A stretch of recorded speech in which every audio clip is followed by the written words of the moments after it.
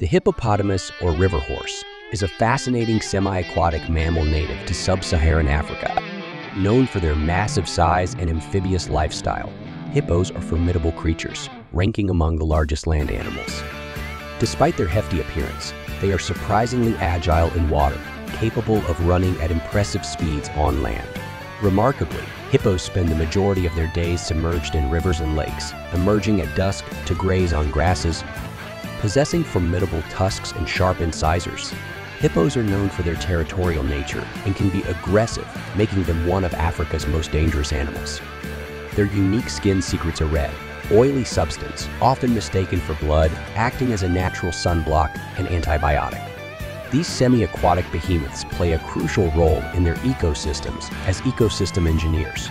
Their wallowing activities create paths through dense vegetation, the hippopotamus is an awe-inspiring creature.